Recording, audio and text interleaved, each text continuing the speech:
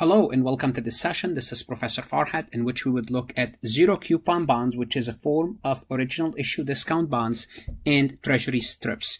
These topics are covered on the CPA as well as the CFA exam.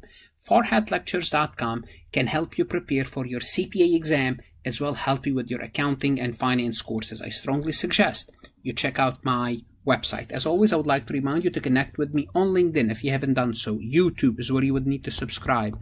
I have 1,800 plus accounting, auditing, tax, as well as finance and Excel tutorials. If you like my lectures, please like them and share them. Put them in playlist. If they benefit you, it means they might benefit other people as well. And this is my website where you will find the additional resources. So let's talk about the original issue discount bond. And basically, they're less common than than the coupon bond. Um, and uh, these bonds are issued intentionally, on purpose, with low coupon rates, or often it's there's no coupon there's no coupon stated, but low coupon rate that cause the bond to sell at a discount from the par value.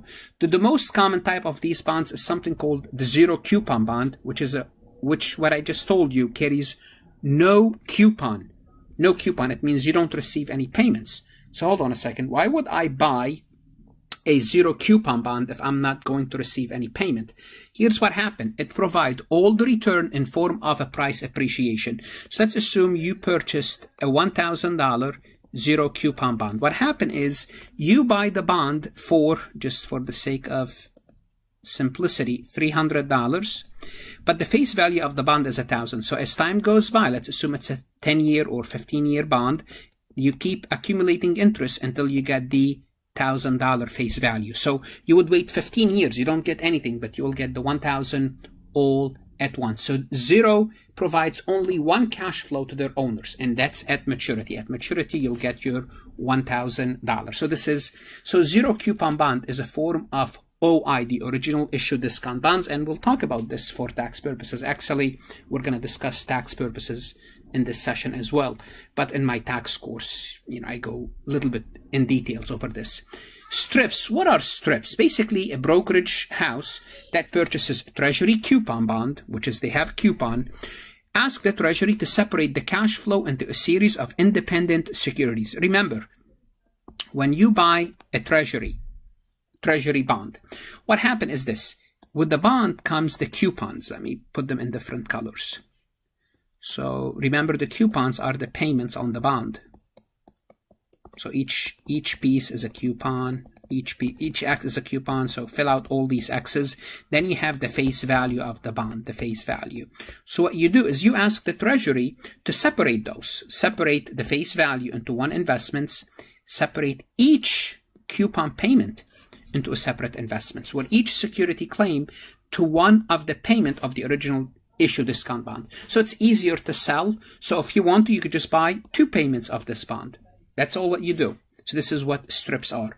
So for example, a 10-year coupon bond will be stripped into 20 semi-annual payment because you pay it pays every six months, and each coupon payment would be treated as a standalone zero coupon bond. So each, what you do is you pay for that for that payment, let's assume the payment is $50. Maybe you'll pay $27 for it well, it's going to be higher because it's only for six months. Let's assume you paid $47 and you will get $50. The maturity of these bonds would thus range from six months to 10 years, depending if you're going to buy each one of them or all of them, but they could range, if you only buy one coupon, it's only a six month coupon. So the final payment too of the face value will be treated as another standalone zero coupon security. The face value also will be deep discounted, obviously more than the coupons because you're going to get it last.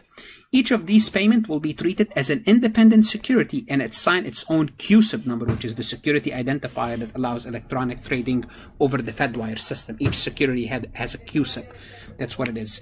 So the payments are still considered obligation of the U.S. Treasury. It's still the same Treasury bond, except it's separated into separate components. The Treasury program under which the coupon stripping is performed is called STRIPS. This is what we're talking about. Separate trading of registered interest and principal of securities. So you are separating the interest payment and the principal. You have many interest payments and the principal, which is one payment, into separate securities, and you are trading them as zero coupon securities. They're called treasury strips. So what happened to zero coupon bond as time goes by? Well, let's take a look at a 30 year until maturity. And suppose the market rate is 10% per year. Here's what's going to happen. The price of the bond will be today, we're going to discount $1,000 at 10% for 30 years. So the value of the bond today is $57.31. And year after year, what's going to happen? Next year, we're going to discount the $1,000 divided by 1.10, which is the interest rate. 1 plus I, 1 plus the interest rate raised to the 29 because we still have 29 years. Therefore, what happened? The bond went up in value from $57.31 to $63.04 pennies, which is a 10% increase over the previous value. This is what happened. And guess what's going to happen in year three? In year Dad, in year two, in year three or in year two, it's gonna you're gonna take the thousand dollar divided by one plus ten raised to the twenty eighth power, and you'll find the price. So what happened over time? The price goes up. The price of the bond, the price of the bond goes up because you you are close close because you are getting closer to maturity. And notice it goes you know a little bit steeper because the value is you know you have more um, the the uh, you are adding the 10% to a larger number therefore it's it goes up steeper toward the end it goes up basically to maturity it goes back up to maturity. So after 30 years so it start this bond will start at $57.31 and if you keep it for 30 years you will get your $1000 so here's what happened. What happened to those OIDs, original issue discount bond. And my tax students hate this topic because it's always a tricky question. So here we go. The tax authorities that the built-in price appreciation of those OID coupon bond represent an implicit interest payment to the holder of the security. And guess what? That implicit interest payment is taxable. So the IRS calculate a price appreciation schedule to impute taxable interest income for the built-in appreciation during the tax year, even if the asset is not sold or does not mature. So you're not getting any money, you're not selling it, regardless, you still have to pay taxes. Any additional gains or losses that arise from the changes in the market interest rate are treated as capital gain or losses if the OID is sold. Only if it's if it's sold during the year, then you'll have capital loss or capital gain. If it's not, you don't have to worry about that. But you would still compute an implicit interest and pay taxes on that implicit interest. So if the interest rate originally is 10%, remember that 30 year zero coupon bond, we said it started at $57.31. The following year, the IRS would calculate what the bond price would be if it's yielding 10%. And this will be, we computed it at $63.04. Therefore, you have interest income, a taxable interest income of $5.73. Yes, this amount is subject to tax. And this is the hardest thing for student to understand. And partially it's my fault because at the beginning of the course, I keep emphasize the point that the IRS only tax you when you have the ability to pay. In other words, you have access to the cash and you can use that cash. Here you don't have access to the cash. You can't use that cash. Well, guess what? There's always an exception in tax law. Okay. And this is one of them. Kind of, there's many, but this is one of them.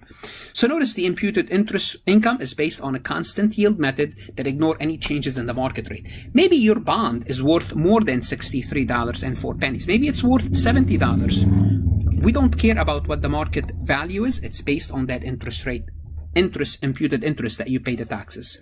So if the interest rate actually, let's say it fell to 9.9, then you do the, you do your uh, discount based on 1.009 and it's now it's worth $64.72. Well, that's the market. That's how much it's worth today. It doesn't matter.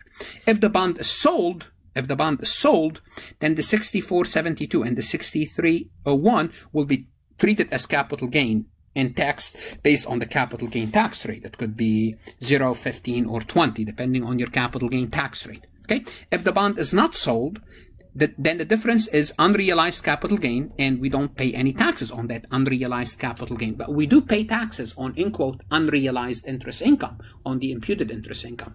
In either case, the investor will have to pay $5.70 taxes taxes on $5.73 of imputed interest at whatever tax rate applies to interest income. Interest income is, just FYI, it's ordinary income. Let's take a look at another example. Let's assume a 30-year maturity bond that's issued with a coupon rate of 4%. Actually, it's the same example. Uh, no, it's, it's, it's a different example. Coupon rate of 4% and yield to maturity of 8. So the coupon is 4, but it's yielding 8%. It means the market rate is 8%. So for simplicity, we're going to assume a yearly uh, coupon payment. So now, because of the low coupon rate, the bond will be issued at a price way below. Think about it. It's offering the coupon is 4 and the market is 8 so it's going to be really really deep discounted. So the bond when it's issued it's issued at $549.69 and you could confirm this yourself if you're interested. We learn about this. If the bond well in the prior session if the bond yields to maturity it's still 8% then its one year price a year later will be $553.66 which is we reduced one year which went from 30 to 29. So the pre-tax holding is exactly 8%. And let's compute that, which is you're going to get $40 in coupon payment in cash. Then the difference between the old price and the new price. Add the $40 to the difference, which is capital appreciation divided by original price, original cost. And you will earn, you are earning a holding, uh, you're holding a period return is 8%, is 8%.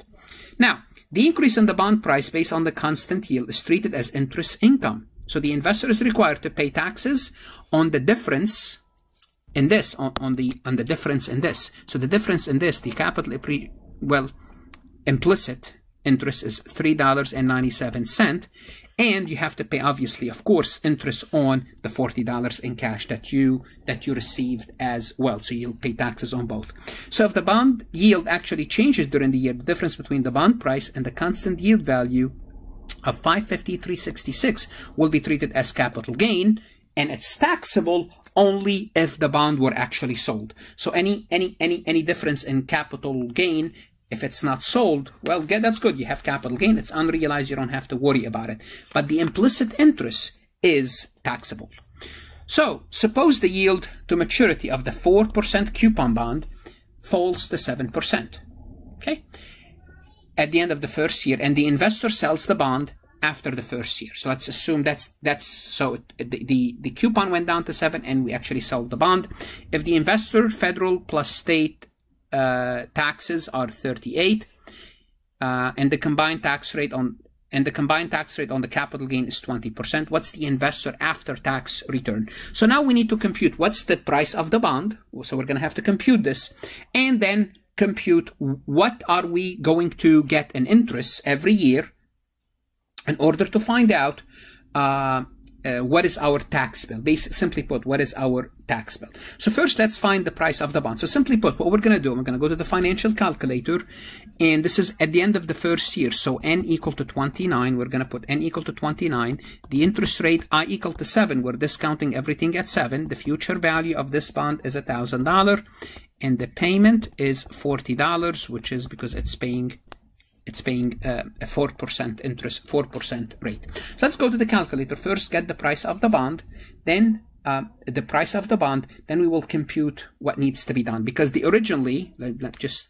it was originally 553.60, 553.66. Notice 553.66, and not originally, the, the, uh, the price of the bond was 553.66 after a year and at the beginning of the year it was 549.69 so let's just come let's get those numbers down. So originally just so we know it's 549.69 this is when kind of at point zero. At the end of the year it was 553.66 okay? Now we're going to say well now it's 7% and we sold it. So first let's find how much it's going to sold for because now we're going to have to find the market price of this bond that's important at 7%. Let's, let's go let's go to the financial calculator. So what's going to happen for this bond is the future value it's going to be a thousand. That's right. The coupon payment is $40. The number of periods here is 29. That's correct. And what else do we have? We have I 7% And now we need to compute the present value, which is how much it's worth. So this is worth based on the based on discounting the bond at 7%, based on discounting the payment of $40, 29 period, future value of a thousand, 631.71. So I'm gonna copy this number down. 631.71. Let's go back to the PowerPoint slides. Price based on 7% is 631.67. Now, so what is the Okay, so what taxes do we have to pay? Well, first we have to pay taxes on the $40. Remember, we received $40. But that taxes is subject to federal and state taxes. So what's going to happen? We're going to take $70 multiplied by 1 minus 0.38, which is the combined taxes. So simply put, you have to pay 38%. What's left is really 62% of the $40. So of the $40, your net after taxes is $24.80. Now also you have to compute the difference in, remember because that the imputed interest, the difference between those two, and I believe it was, how much was it? $3.97. So you're, you're going to have to go back there. The difference is $3 and 97 cent. Again this is the imputed this is also taxable and you're going to multiply it again. You're only keeping 62% of that. You're going to keep $2.46 then now you actually sold the bond. You actually sold the bond. Well the bond has a value of 553.66 like kind of a book value and now you sold it for 631 so you have to take 631 this is what you sold it for. The proceeds minus 553.66, which is the basis. Now I'm using tax, tax, tax terminology. Maybe some of you don't like this, but I am an accounting professor after all. So 631.67 minus 553.66, you have a capital gain of $78 and 0.01. Now, of this amount, you're only going to keep, oh, of this amount, this is capital gain. It means you're going to be taxed at 20%. If you're going to be taxed on 20%, it means you're keeping 80% of this We multiplied by 0.8. So you're keeping $62 and rounding 41 cent. So simply put, for the capital gain, your capital gain is, we said, oh, let me go back to the calculator. I did not copy the numbers down. Uh, 631.67 minus 553.66 it's $78 that's what I thought. So it's you're gonna have capital gains of $78 and one penny. To be more specific and you're gonna multiply this by 1 minus 0.2 so you're keeping 80% because you're going to have to pay 20% in taxes. Again, the capital gain tax is different than your income. Therefore, you will keep $62.42. So what is your overall after-tax return? You add all this up and it's $89.67. To find out what's your rate of return on this investment, well, you earned, you earned $89 overall and 67 cent and you invested uh, 500 and $49.69. So you're looking at a rate of return of 16.3%. Not bad at all. Not bad at all. In the next session, we would look at the default risk uh, of a bond. Once again, if you like this recording, please like it and share it.